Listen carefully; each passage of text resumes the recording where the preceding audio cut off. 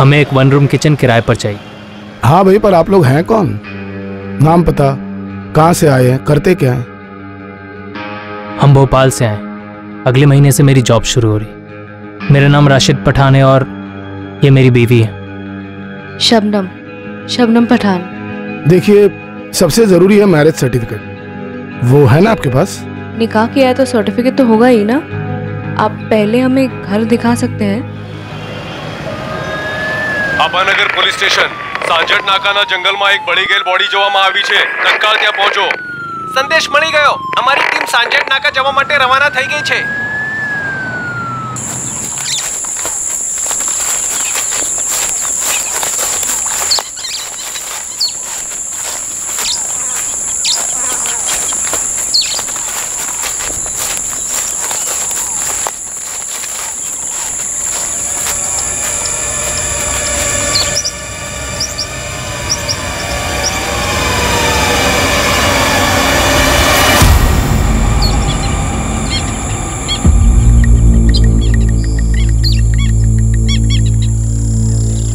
जवान लड़की लगती है।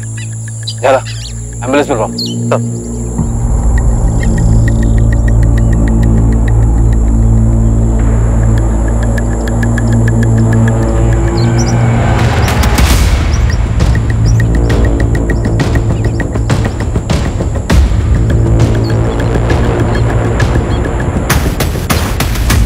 सब आसपास तो कोई सुराग नहीं मिला। बॉडी पर भी कोई आइडेंटिफिकेशन नहीं है। और सर जिस गाँव वाले ने बॉडी को स्पॉट किया उसने भी किसी को आता जाता नहीं देखा सर।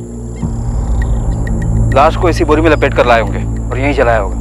और काफ़ी जलने के बाद इसी बोरी से आग बुझाई भी होगी। हो सकता है सर क्योंकि बॉडी पर काफ़ी स्ट्रॉन्ग कैरोसिन की स्मेल बलदेव। जवान औरतों की मिसिंग रिपोर्ट चेक करनी होगी। दोषी है डबल मर्डर है प्रेग्नेंट थी? चार महीने का फिटस था। शायद बच्चे को मारने के लिए इस औरत को भी मार डाला गया। काफ़ी यंग औरत। लड़की कहना सही होगा। एज 18 से 23 के बीच की। 18 से 23 का रेंज काफ़ी बड़ा होता है डॉक्टर फेस के साथ बॉडी भी पूरी तरह से जली हुई है। ऐसी हालत में एक्चुअल एज बताने के लिए थोड़ा टाइम लगेगा। वैसे आपके पास बाकी डायमेंशन है। Height 5 feet 5 inches weight 55 56 KGs और ब्लड ग्रुप ओ पॉजिटिव मौत का कारण? विक्टिम को गला घुटकर मारा गया। सर चार महीने पहले हिम्मतनगर से एक लड़की गायब हुई। उसकी फ़ोटोज़ और डिटेल आई थी ये इस जंगल वाली लाश के साथ मैच कर रही है सर। नाम मानसी पटेल उम्र 20 साल height 5.2 weight 51 kg blood group O positive लगभग एग्जैक्ट मैच है। बस वो जंगल वाली लड़की प्रेग्नेंट थी। सर लड़की के घर वालों ने शिकायत दर्ज करवाई है कि इस लड़के ने इस लड़की को भगाया। फैज खान से मेरा नाम राशिद पठान है और ये मेरी बीवी है। शबनम शबनम पठान। 20 वर्षीय मानसी पटेल और 25 वर्षीय फैज खान जब चार महीने पहले गायब हुए थे, तब दोनों के हताश घर वालों ने ज़बरदस्ती भागने के आरोप प्रत्यारोप लगाए थे। लेकिन तब ना तो उन्हें पता था और ना ही इन्वेस्टिगेशन टीम को कि इस केस की हकीकत क्या थी। और आने वाले दिनों में यह केस कितना घुमावदार साबित होने वाला था। साहब ये कहाँ लिखा है कि सिर्फ़ लड़का ही लड़की को भगाता है? अरे आजकल की लड़कियाँ कुछ कम है क्या? सर इस औरत को बोलिए मेरी बेटी पर उंगली ना उठाए। इस औरत का क्या मतलब? तमीज से बात करो समझे? इनका लड़का परेशान करता था हमारी मानसी को। ज़रूर इन लोगों ने कुछ खिला पिला दिया होगा मेरी बेटी को। इन लोगों ने? इन लोगों ने का क्या मतलब है? हमें कोई ऐसा ऐसा समझ रखा है? अपनी लड़की तो संभाली नहीं जाती। एक मिनट। जो बजाइए आप लोग कोई कुछ नहीं बोलेगा। पुलिस स्टेशन है ये। तो बोल। इधर आओ। इनको एसआई अपनी के पास लेकर जाओ। आप लोग इनके साथ जाइए और रिपोर्ट लिखवाइए। और हाँ, अब आप बोलिए। अब मैंने बताया ना मेरा बेटा फैसला बहुत सीधा है। उसका अपना गैराज है। ऑटोमोबाइल का कोर्स किया उसने। सब अच्छा चल रहा था। इसकी बेटी ने उसे लपेटे में ले लिया है। फांस लिया है उसे। बड़ी मुश्किल से हमने उस लफंगे को अपनी बेटी मानसी से दूर किया है। हम तो अपनी बेटी की ग्रेजुएशन पूरे होने का इंतज़ार कर रहे हैं ताकि उसकी शादी कर सके। हमारी अपनी बिरादरी। देखिए वो लड़की हमें घर में चाहिए ही नहीं और ना ही चाहिए उस बिरादरी की चिट्ठी साहब आप लोग तुरंत इस पे एक्शन लीजिए वरना मामला सांप्रदायिक बनाकर दोनों तरफ़ के ठेकेदार इस पर कूद पड़ेंगे। देखिए मैडम दंगे वंगे छिड़ जाएँगे जो हम बिल्कुल नहीं चाहते हैं। हमें तो बस हमारी बेटी सही सलामत लौटा दीजिए। शांति बनाए रखिए। हम मानसी को ढूंढ लेंगे और पक्का ढूंढ लेंगे। आपके पास उसकी कोई तस्वीर है? साहिल भाई की तस्वीर होगी ना तेरे मोबाइल पर? दिखा इन्हें। हाँ। दिखा दो।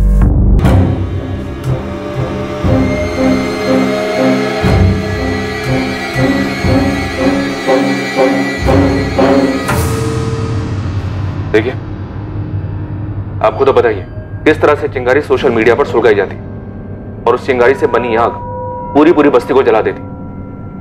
तो मेरा मशवरा यह है, थोड़ी शांति रखिए आप लोग। जलेबी लाश की फ़ोटो और पोस्टमार्टम रिपोर्ट हिम्मतनगर के करमवीर नगर थाने भेजो, तुरंत।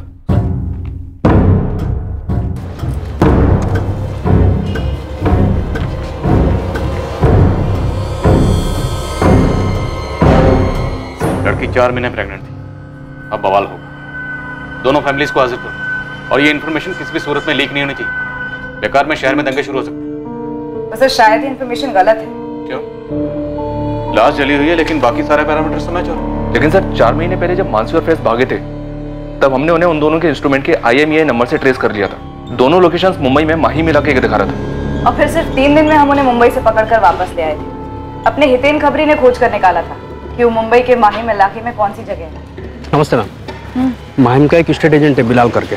उसका नंबर और पता है। राजू करके एक मेरा मुंबई का पंडर है। उसको बिलाल बोला था कि उसने फ्लैट तो दे दिया था लेकिन उनके डॉक्यूमेंट्स फर्जी लग रहे थे। शाबाश हितेन अच्छा काम मैं उसी रात की ट्रेन से मुंबई पहुँचा। और मुंबई पहुँचते ही सबसे पहले बिलाल एस्टेट एजेंट के ऑफ़िस पहुँचा।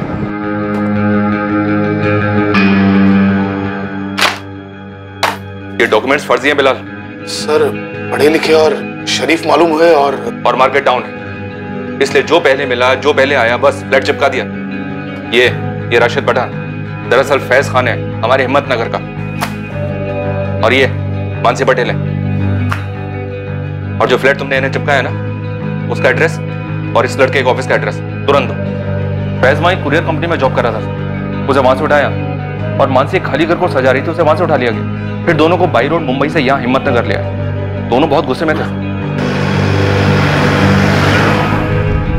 तीन दिन में हम असली शादी कर रहे हैं। आप हमें ऐसे कैसे गिरफ़्तार कर सकते हैं? तुमने जो ये नकली की शादी की है समझ लो। उसी के लिए गिरफ़्तार हुई हम दोनों बालिग है सर। आप भी जानते हैं आप ये जो कर रहे हैं वो गैर कानूनी है। आप लोग हमें इससे रोक नहीं सकते। ना ही हमारे घर वाले अगर वो लोग तुम दोनों को अपनी ज़िंदगी जीने से रोक रहे हैं तो उनके खिलाफ शिकायत करो। बजाय इसके कि फर्जी डॉक्यूमेंट्स बनवाओ। बालिग हो तो बालिगों की तरह पेश आओ ना।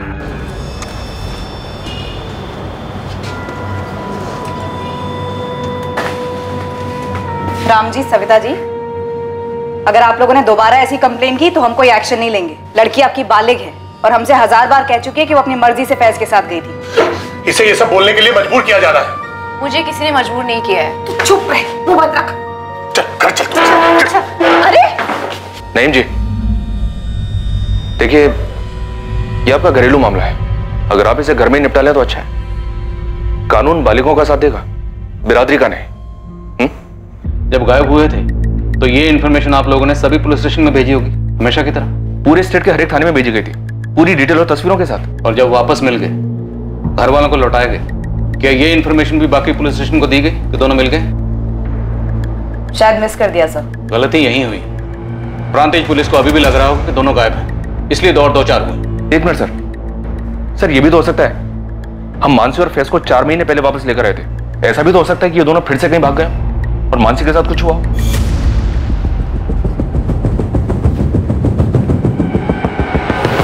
पुलिस को अब एक चौंकाने वाली खबर मिलने वाली। थी और मानसी पटेल मर्डर केस की तहकीकात एक भवंडर में भंवर का अनुभव देने वाली। थी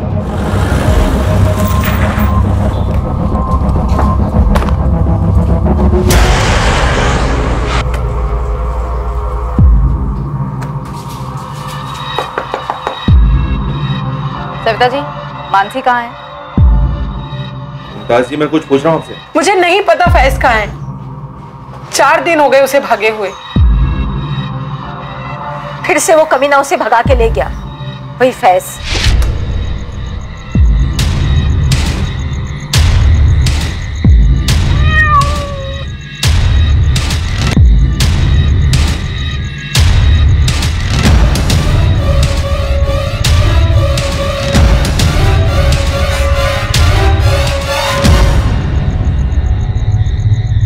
फैस के साथ आखिरी बार बात कब हुई थी आपकी? बताया तो चार दिन पहले भागे हैं वो।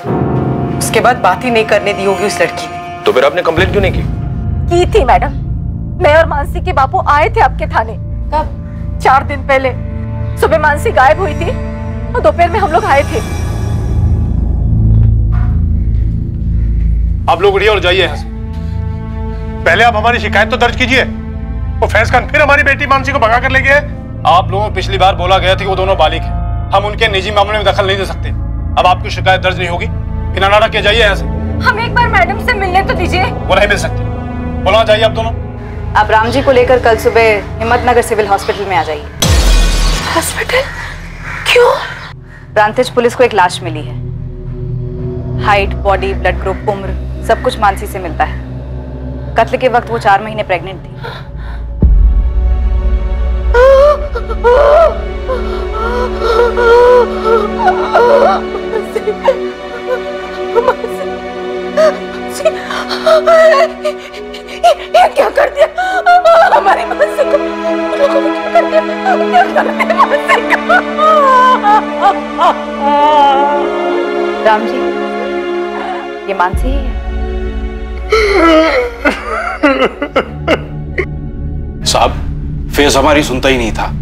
इस बार पक्का इरादा करके भाग गया वो उस लड़की के साथ। तो आखिरकार आप कबूल करते हैं कि आपका बेटा फैज खुद अपनी मर्ज़ी से मानसी के साथ भागा था? हज़ार बार समझाया उसे लेकिन उसके सर पे जैसे कोई जुनून सवार था। मानसी को कुछ दिखाई नहीं दे रहा उसे कुछ सुनाई नहीं दे रहा था। हाँ, हमने तो अपने समाज के गुरु जी से भी बात करवाई थी उसकी। मौलवी साहब भी आए थे घर पर फैज को समझाने के लिए।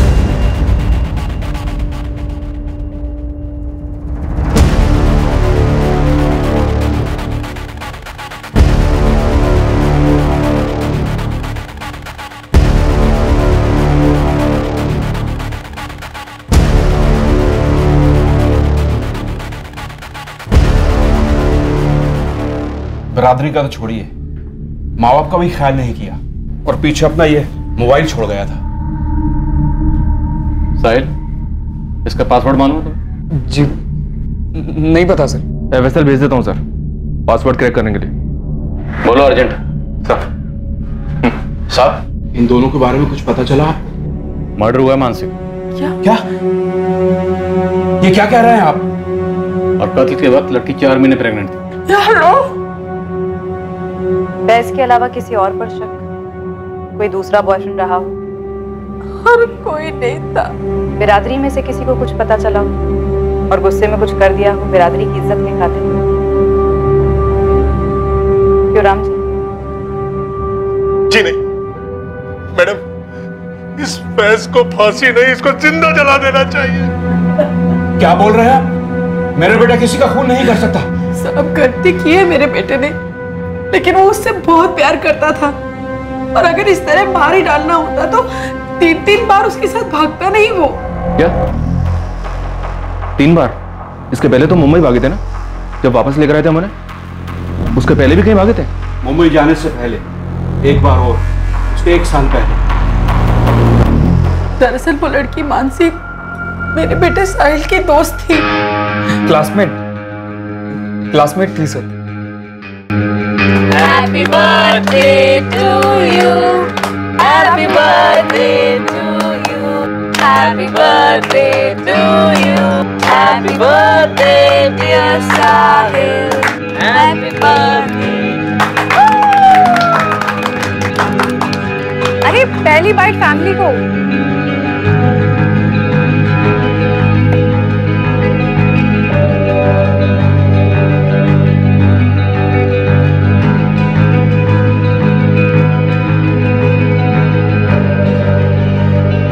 सब दो साल से दोनों का चक्कर चल रहा था। फ़ेज़ उसे गैराज के ग्राहकों की गाड़ी में घुमा रहा था। गैराज फैज का अपना? जी साहब फैज और उसके दो दोस्त हेतल और चेतन ने मिलकर खोला था। उस बीच फैज और मानसी के बीच क्या चल रहा था ये हम लोगों को बिल्कुल मालूम नहीं था। इस चक्कर के बारे में तो साहिल को भी कुछ नहीं पता था। जी नहीं मालूम था सर। पहली बार साहब जब फ़ेज़ रात को देर से आया तो हम लोग बहुत परेशान हो गए थे। रात भर ढूंढा हमने उसे। पर वो कहीं भी नहीं मिली। हम पुलिस के पास जाने के लिए निकल ही रहे थे कि मानसी वापस आ गई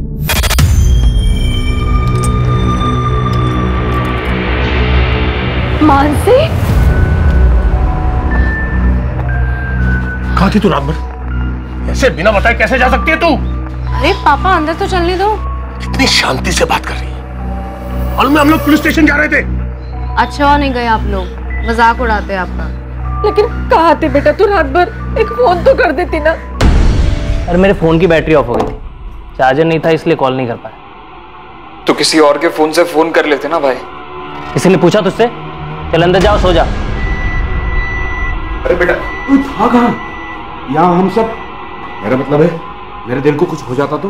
तौबा अब्बू कुछ भी ना बोली। अरे मेरा एक दोस्त है अब्दुल आप उसे नहीं जानते। तो एकदम से अहमदाबाद ले गया मुझे। उसकी कोर्ट मैरिज थी ना तो गवाही देने गया था। भाई देने? कोर्ट में? क्यों? कोई दूसरे कौम की लड़की थी? रश्मि नाम है मेरे फ्रेंड का रश्मि शर्मा। शादी कर रही थी वो अब्दुल शेख के साथ। तू ही मिली थी उसे गवाह बनाने के लिए? अरे पापा वो मेरी बहुत अच्छी फ्रेंड है कंप्यूटर क्लासेस से। देख मानसी ये तेरी पहली गलती थी इसलिए हम लोग तुझे माफ़ कर देते हैं। पर एक बात तो अच्छी तरह से समझ ले। अगर ऐसा काम यदि अपनी बेटी भी करती ना और कोई लड़की उसकी गवाह बनती किसी और धर्म के लड़के के साथ में शादी करने के लिए तो मैं अपनी बेटी और वो लड़की दोनों की खाल खींच लेती। समझे तू? समझा आपकी बात। बट ये अब्दुल कोई गैर कानूनी काम नहीं कर रहा है। तभी तो कोर्ट मैरिज कर रहा है। बाकायदा मियाँ बीवी अपना अपना मज़हब मानेंगे। आपको डरने की कोई ज़रूरत नहीं है। मैंने कुछ गलत नहीं किया। और ना ही रश्मि और अब्दुल ने।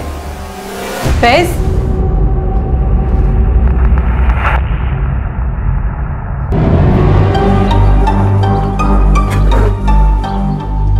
हमारा एक्सपेरिमेंट पूरी तरह से फेल नहीं हुआ है फैज हाँ ये तो एक दिन के लिए था। पर अगर हम पाँच छः दिन के लिए भागे तुम्हें क्या लगता है हमारे माँ बाप पुलिस में नहीं जाएँगे?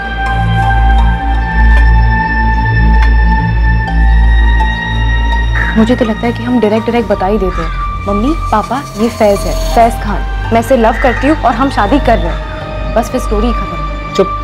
स्टोरी शुरू होने से पहले ही ख़त्म हो जाएगी। तो फिर और क्या करें? एक काम करते एक बार फिर से बात। देखते हैं मेरे अम्मी अब्बू और तुम्हारे मम्मी पापा पीछे पड़ते हैं। डन। कभी और जब दूसरी बार भागे तो आप ही लोग तीन दिन में मुंबई से उन्हें ढूंढकर वापस ले आए थे। सब कुछ ठीक ही था। हमें लगा दोनों एक दूसरे को भूल गए और फिर चार दिन पहले फिर भाग गए। मैंने इससे कहा कि हम पुलिस पुलिस में गए तो बदनामी हमारी होगी। आखिर लड़की को लेकर हमारा लड़का ही भागा है ना?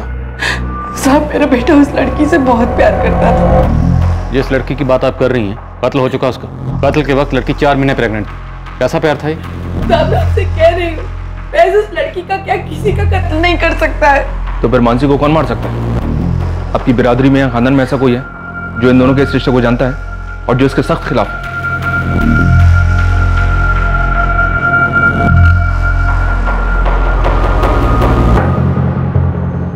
फैज ने नहीं तो किसने और क्यों मानसी का कत्ल किया? इसका जवाब फैज ही दे सकता था, जिसके लिए पुलिस ने मैनहंट जारी कर दिया।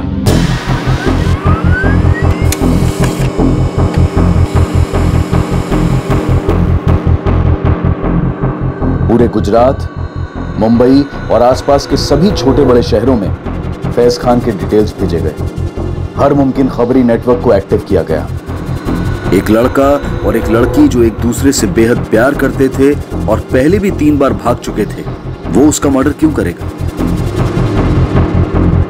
पर इस केस के कुछ और पहलू थे जो आगे जाकर खुलने वाले थे।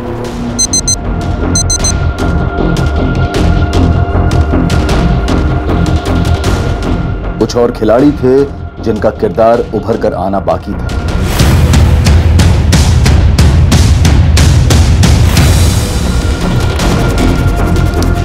पर फ़िलहाल सारा शहर तनाव की गिरफ्त में आ चुका था। कौमी फसाद करवाने वाले घात लगाए बैठे थे।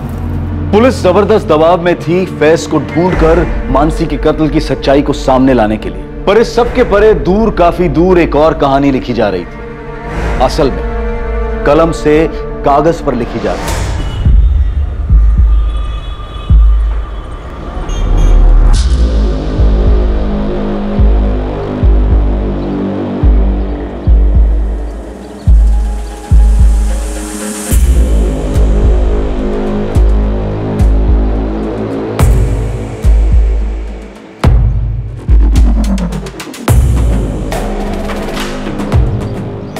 बब्बन काम ठीक से समझ गए हो ना? नहीं भाई ये हमारा रोज का काम है। फ़िक्र मत कीजिए आपका काम हो जाएगा।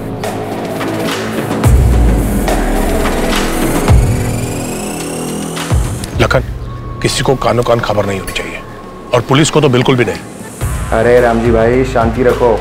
आपने बोल दिया ना मामला घरेलू है बस घर तक ही रहेगा। अब ये घरेलू मामला नहीं रहा साहिल मानसी का मर्डर हुआ है। और मर्डर के वक्त वो चार महीने की प्रेग्नेंट थी। तुम्हारे भाई की गर्लफ्रेंड थी। दोस्त तो तुम्हारी भी थी।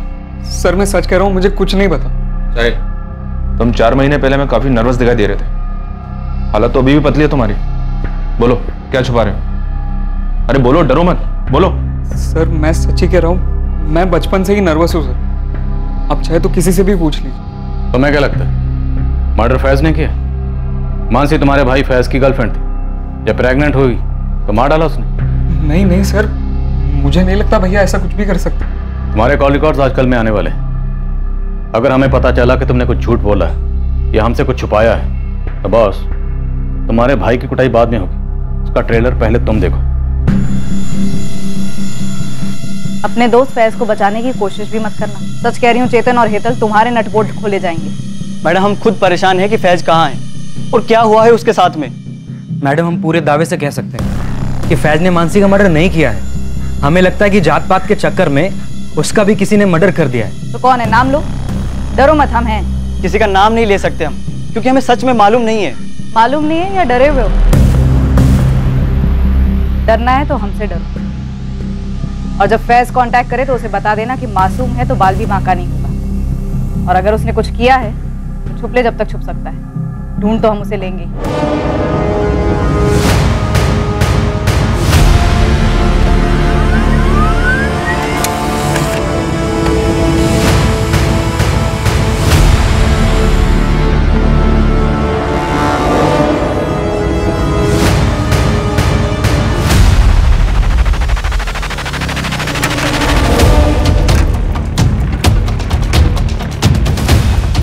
पोस्ट किए गए तीनों खत दरअसल एक ही खत की तीन कॉपीज थी जो तीन अलग अलग एड्रेसेस पर पहुँचने वाली थी।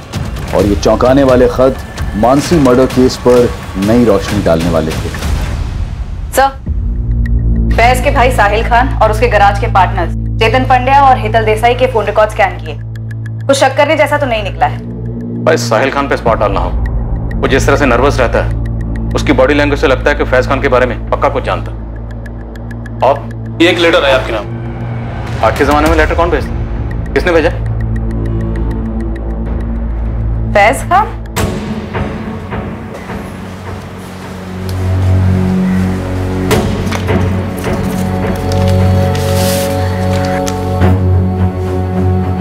जब तक आप लोगों को ये चिट्ठी मिलेगी मैं इस दुनिया से जा चुका हूँ। लेकिन जाने के पहले मैं आप सबको एक सच बताना चाहता हूँ। मानसी के साथ मेरा रिश्ता सिर्फ़ और सिर्फ़ जिस्मानी था। कम से कम मेरी तरफ़ से तो उतना ही था। एक साल पहले जब हम अहमदाबाद गए थे, तब कोई रश्मि और अब्दुल की कोर्ट मैरिज नहीं थी। बस हम दोनों पूरा दिन और रात एक लॉज में थे। मुंबई में भी हम वही करते रहे, जिसके लिए हम घर से भागे थे। और जब पुलिस ने हमें पकड़कर वापस लाया और सभी बड़ों ने मुझे समझाया, तब मैंने सोच लिया था कि अब मुझे मानसी से ब्रेक ऑफ़ करना है।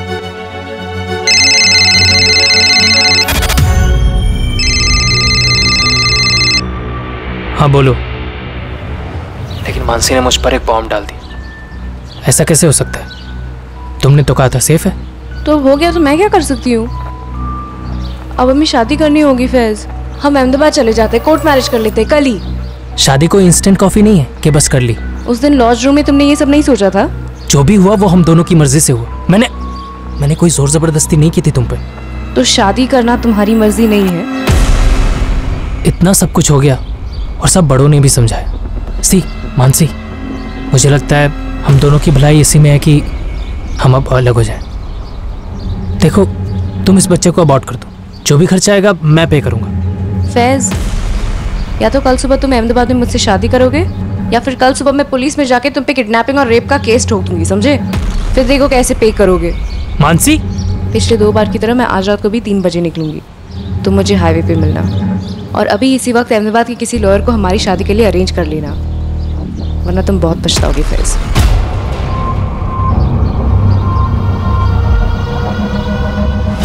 मेरे पास कोई चारा नहीं था। तो मैं अगले दिन उसको लेकर निकल पड़ा अहमदाबाद के लिए। लेकिन हम अहमदाबाद गए नहीं। पर हम यहाँ प्रांतिज में क्यों रुकेंगे और इस सड़ियल घर में क्यों? क्योंकि मेरी माँ वहाँ अहमदाबाद में पुलिस हमें ढूंढ रही होगी। बार हमारी शादी हो जाए, फिर वो तो क्या? उनका बाप भी हमें नहीं टच कर सकता। मैंने उससे झूठ बोला, उसका भरोसा जीतने के लिए, ताकि मैं अपना मकसद पूरा कर सकूँ।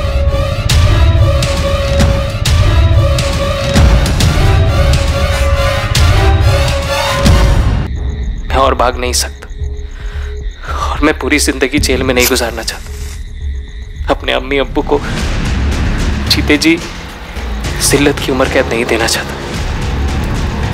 बस जाते जाते आप सबसे इतना कहना चाहता हूँ कि इस मसले को धर्म वाला मसला ना बनाया जाए। पूरी गलती सिर्फ़ और सिर्फ़ मेरी है। कमज़ोर खुद कर इंसान। अल्लाह हाफिज अब्बू साहिब। और मानसी के मम्मी पापा आपसे तो मैं माफ़ी मांगने के लिए लायक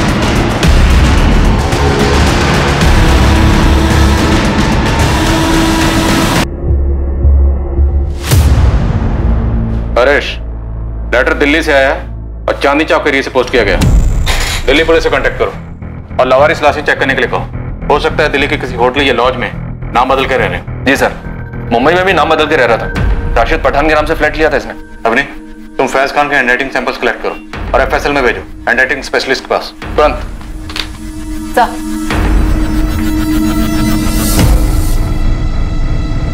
अब तो पुलिस को भी कोई शक नहीं होना चाहिए कि हमारी मानसी को इस फैज ने ही मार डाला।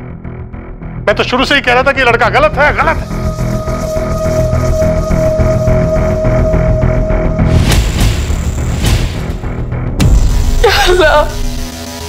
ये क्या कर दिया फैज तूने?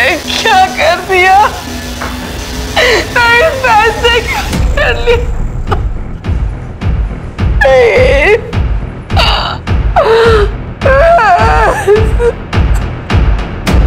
इस केस की कई परतें खुलने लगी थी और कुछ परतें उस लेटर में थी, जिसका वेरिफिकेशन फोरेंसिक लैब करने वाली थी।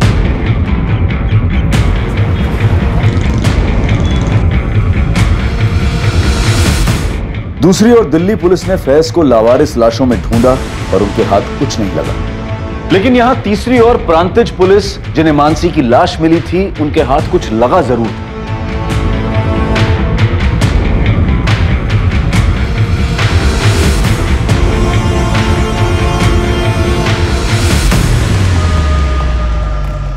सर ये जंगल के बाहर का सीसीटीवी जहाँ से उस रात को ये गाड़ी गुजरी। और यहीं से लगभग एक किलोमीटर अंदर हमें मानसी की जली हुई लाश मिली थी। पोस्टमार्टम रिपोर्ट भी यही कहती है कि लाश रात को एक से डेढ़ के बीच चली थी और ये कार एक बजकर तैंतीस मिनट पर वहाँ से निकली। हो सकता है कि इस कार में मानसी की लाश लाई गई हो और यह आदमी फैज से कनेक्टेड हो। जरा इस कार को ट्रेस करो। वैसे भी हमें काफ़ी देर हो चुकी है। कार से फुटेज हमें काफ़ी पहले मिल गई हो। यहाँ प्रांतिज पुलिस को एक रहस्यमयी गाड़ी की लीड मिली। और वहाँ हिम्मतनगर पुलिस के हाथ भी एक बहुत बड़ा सुराग लगा जब फाइनली फैज के सेल फ़ोन के पासवर्ड को क्रैक कर लिया गया। और अब सामने आया एक चौंकाने वाला नया एंगल.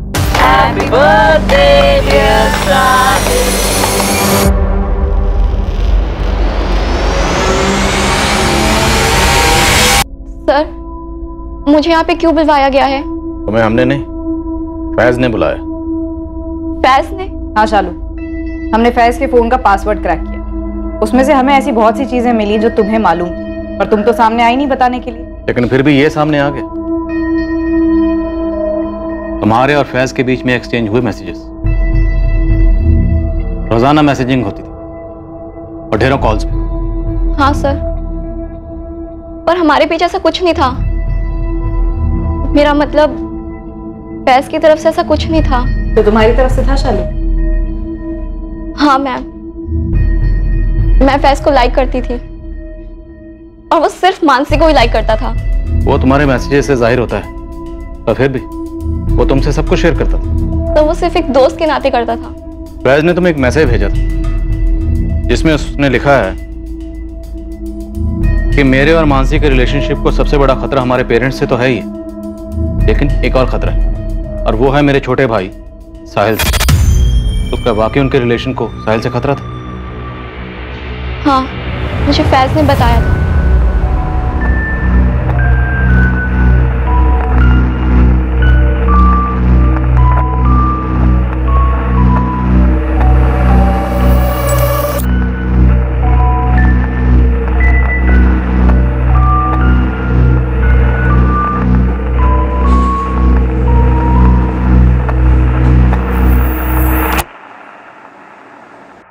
एक्चुअली मानसी फैज को साहिल के बर्थडे पर मिली थी।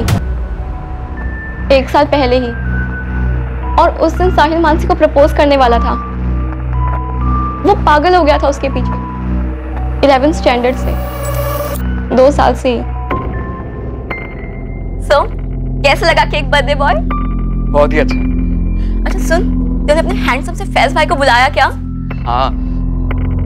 अच्छा वो मानसी आ रही है ना? अरे यार कब तक ऐसे शाय फील करता रहेगा? आज तो बोल दे उसको। तेरा बर्थडे है। हाँ यार। शालू मैंने ना आज डिसाइड कर लिया कि मैं मानसी को प्रपोज करके ही रहूँगा। कुछ भी हो जाए।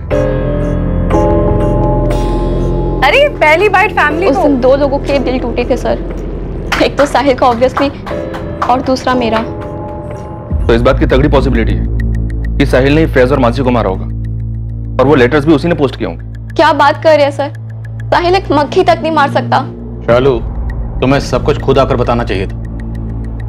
पर अब साहिल बताए। परेश। हाँ साहिल। सर सर मेरी बात सुनिए सर। साहिल ऐसा नहीं कर सकता। सर मेरी बात समझिए तो सी वो नहीं करेगा ऐसा।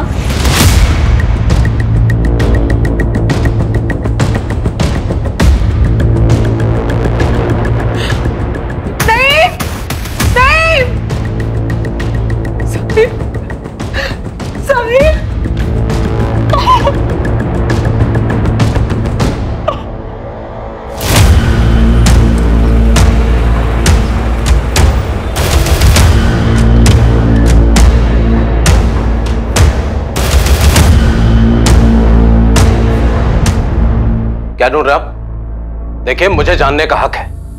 आप लोगों की गलत फहमी के कारण मेरे पूरे दिन का नुकसान हो गया। कौन भरपाई करेगा इसका? अरे कुछ बोलो यार।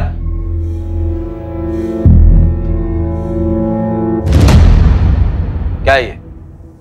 रात में मेरी गाड़ी बस रास्ते से गुजर रही है और क्या? ये उस रात की फुटेज है जब जंगल में एक औरत की लाश ठिकाने लगाई गई थी। तो? मैंने ठिकाने लगाई। तुम्हारी गाड़ी गुजरी जंगल से। शॉर्टकट रास्ता है। मेरे अलावा वहाँ से हज़ारों लाखों गाड़ियाँ गुजरती है। और गुजरती भी रहेंगी। उस रात तुम क्या कर रहे थे वहाँ पर? रंजीत ने मेरी बेटी का घर है। नादी का जन्मदिन था। हिम्मतनगर से वापस आ रहा था और आप यहाँ पर बैठकर लाश वाश की बात कर रहे हैं। सर। गाड़ी में कुछ नहीं मिला सर। ठीक है तुम जा सकते हो। खाली पीले टाइम खोटी करके रख दिया है। बेकार में कुछ ज़्यादा नहीं चिल्ला रहा था ये? चोर की दाढ़ी में तिनका। सर इस अरविंद पारी के पीछे खबरी लगा था साहिल का साहब हम बोल तो रहे हैं हमें नहीं मालूम।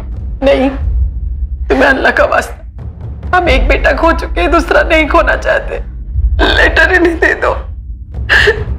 दे दो।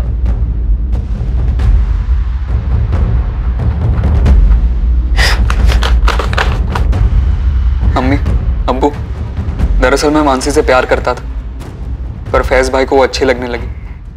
मुझे इस बात से बहुत तकलीफ़ थी। मुझे पता चला था कि मानसी भी घर से गायब थी। ठीक तभी जब फैज भैया गायब हुए थे। मैंने दो और दो साथ में जोड़ लिया कि भाई और मानसी साथ में ही गायब हुआ होंगे और मैंने भाई से पूछा कल दिन भर और रात भर आप मानसी के साथ थे ना? हाँ तो मम्मी अब्बू को बोलेगा। चुगली करेगा मेरी? मानसी मेरी गर्लफ्रेंड है तुझे प्रॉब्लम है इससे? हाँ है प्रॉब्लम क्योंकि मैं भी लाइक करता हूँ उसे। दो साल से। अबे ढक्कन। पहले क्यों नहीं बताया? आपको सब पता था मैं। दिन भर उसके बारे में बातें करता था। मेरे बर्थडे पे भी पहला केक मैंने उसे खिलाया था। आपको सब पता था देख अचकानी बातें मत। तूने कभी मानसी से कुछ कहा? या मानसी ने तुझे कुछ बोला? नहीं ना? देख मानसी अब मेरे साथ है। तुझे समझना पड़ेगा। नहीं समझना है मुझे। देखो भाई अगर आपने मानसी के साथ कुछ भी गलत किया ना तो मैं मार डालूँगा आपको और फिर खुद को। इसमें हम क्या कर सकते हैं सर? फैज ने मारा हो या साहिल ने मारा हो? इनके पूरे खानदान को जेल में डाल दीजिए सर। जिसने भी मारा है हमारी बेटी को हमें सिर्फ़ इंसाफ चाहिए। साहब हमें तो रक्त दाल में अभी भी कुछ काला है। मेरे दोनों बेटे हमारी परवरिश इतनी गलत नहीं हो सकती। देखिए फ़िलहाल तो यही लगता है कि फैज ने मारा। और उसने मारने के बाद चिट्ठियाँ भिजवाई? अब खुद फरार हो गए। दिल्ली में फैज की लाश नहीं मिली। या फिर हो सकता है कि साहिल ने मारा और वो चिट्ठियाँ किसी और से भिजवाई उसने। लेकिन वो दिल्ली गया ही नहीं। किसी और से भिजवाई हो चिट्ठियाँ भिजवाना मुश्किल नहीं। सर फोरेंसिक लैब से फ़ोन आया था। हैंडराइटिंग एक्सपर्ट ने दोबारा चेक किया। वो हैंडराइटिंग फैज की नहीं। अब नहीं साहिल के लिए तुरंत रेड अलर्ट जारी करो। बच के नहीं निकलना चाहिए।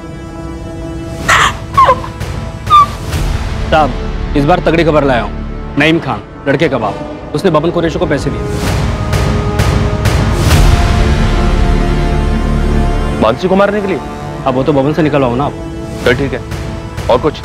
ये तो आधी खबर है साहब। और एक सुपारी गई। थी अब किसकी? रामजी पटेल लड़की का बाप। उसने हिस्ट्री शेटर लखन पांडे को पैसे दिए। भैंस की सुपारी? ये क्या खिचड़ी थे खिचड़ी उनकी अम्मा बोलिए साहब और आगे भी सुनिए। जैसे ये फैज का सुसाइड वाला स्टोरी निकला ना रामजी पटेल ने तुरंत लखन पांडे को फ़ोन करके कॉन्ट्रैक्ट कैंसिल कर दिया मैं तो कहता हूँ साहब नईम खान और रामजी पटेल को टटो। सर चोर की दाढ़ी में तो वाकई बहुत बड़ा तिनका दिखा सर कोई कनेक्शन मिला उस अरुण पारिक का? बिल्कुल सर। खबरी रामचंद को लगाया था इसके पीछे। और उसने बताया कि अरुण पारिक की बहुत ही खास दोस्त थी सोचिए किसके साथ। फैज खान की फैमिली से? नहीं सर। मानसी पटेल के फादर रामजी पटेल के साथ।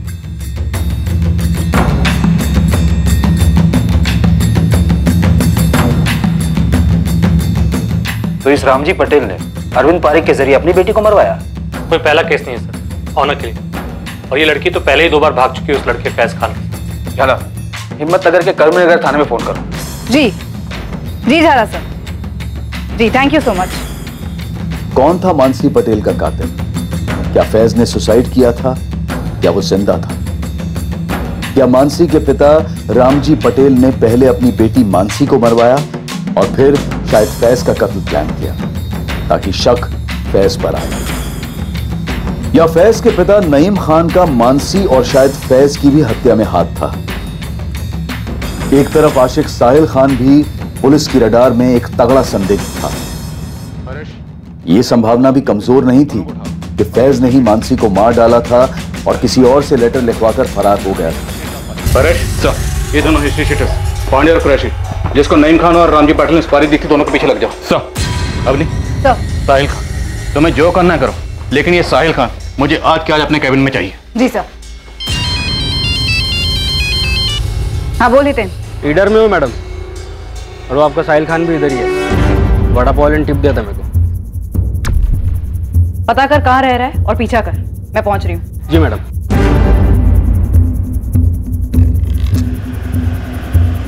कुछ तो बोलिए क्यों उठाया है हमें? सब कुछ तो खत्म हो गया है। अब क्या बात करनी है आप लोगों को हमसे? मेरी बेटी मानसी वापस तो नहीं लौटाएगी ना?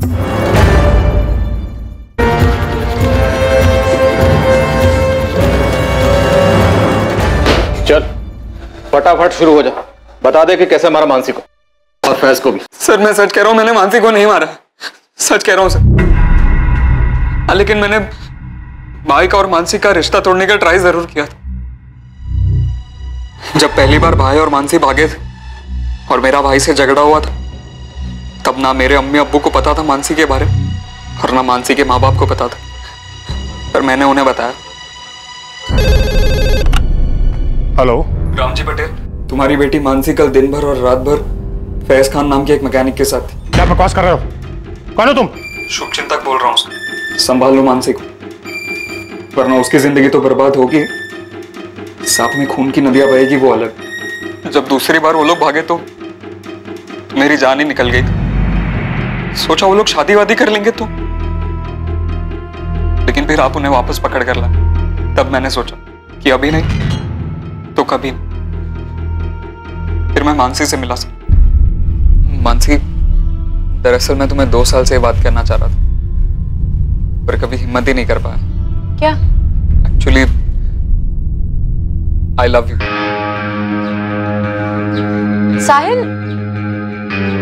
क्या मैंने तुझे कभी कोई सिग्नल तू मेरे लिए बस एक ओके मत कहो। तो तुमने क्यों कहा इडियट तुम मेरे लिए बहुत ही गुड और स्वीट फ्रेंड हो और फैज के बाद उसके छोटे भाई। तो ये नॉनसेंस ना अपने दिमाग से निकाल दे। वो तो मुझसे नहीं हो। फैज से मैं ब्रेकअप कर चुकी हूँ। हमारे बीच जो कुछ भी हो अगर मैं उसे बुला सकती हूँ ना साहिल तुम तो तुम बात ही मत करो। देखो फैज भाई को ये मीटिंग के बारे में कुछ मत बताना प्लीज़ मानसी तुम्हें मेरी कसम।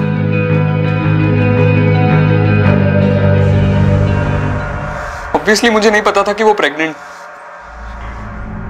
और भाई के साथ ब्रेकअप करने वाली बात। वो भी झूठी थी। दो महीने बाद वो लोग तीसरी बार भागे। और फिर ये न्यूज़ आई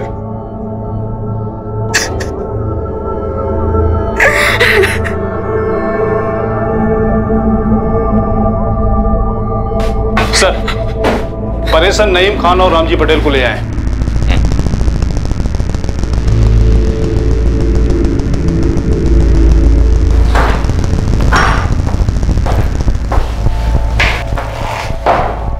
साहब मैंने बब्बन को पैसे दिए थे लेकिन मानसी को ढूँढने के ताकि ये लोग ये मेरे फेस के साथ कुछ करना दे। मुझे भी यही डर था। मुझे फैज को अपने कब्जे में रखना था ताकि ये लोग मानसी को छोड़ दें। लेकिन उस फैज ने ही मानसी को मार दिया। और मेरे फैज ने खुद की जान ले ली। फैज की लाश नहीं मिली अभी तक। दिल्ली पुलिस ने सारी लावारिश लाशें चेक कर ली। साहब हो सकता है खुदकुशी ना की हो। इन्हीं लोगों ने मरवा दिया हो। क्या पक रहे हो? कुछ भी बोल शुरू से देख रहा हूँ तुम दोनों को। बबन कुरैशी और लखन पांडे यहीं। दोनों 24 घंटे में यहीं उल्टे लटके होंगे। फिर देखता हूँ तुम दोनों को। क्या बोलते हो? इस केस में कुछ ऐसे खिलाड़ी थे जिनका इस केस से कोई ताल्लुक नहीं था। कुछ ऐसे लोग जो किसी अनजान चिता पर अपने मतलब की रोटी सेक रहे थे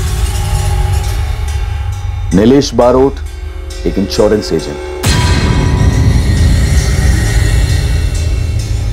मोहित मकवाना एक सरकारी डिपार्टमेंट में आर्किटेक्ट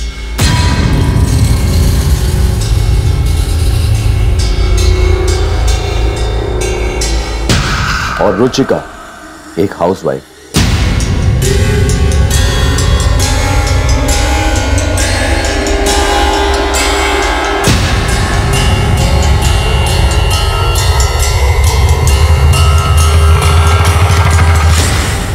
अहमदाबाद के एक इंश्योरेंस एजेंट एक आर्किटेक्ट और एक हाउसवाइफ का हिम्मत नगर में हुई इस इंटर कम्युनिटी लव स्टोरी और भयंकर मर्डर केस के साथ क्या ताल्लुक? इसका चौंकाने वाला खुलासा हम करेंगे कल रात इस केस के दूसरे और आखिरी भाग पर सबसे बड़ा खुलासा जो होगा, वो ऐसा होगा जिसकी एक लंबे अरसे में आपने कल्पना भी नहीं की होगी। अब मैं अनूप सोनी आपसे विदा लेता हूँ। फिर मुलाकात होगी एक और नए केस के साथ, और याद रखें क्राइम और आपके बीच में सिर्फ़ इतना फ़र्क है कि आप कितने सतर्क हैं। सतर्क रहें, सुरक्षित रहें। जय हिंद।